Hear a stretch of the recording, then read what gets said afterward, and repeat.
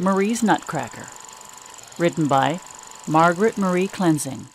Logline Marie, a 17 year old dancer on the cusp of becoming a professional ballerina, struggles to overcome her insecurities to become the star of her local dance company's production of the classic Christmas ballet, The Nutcracker.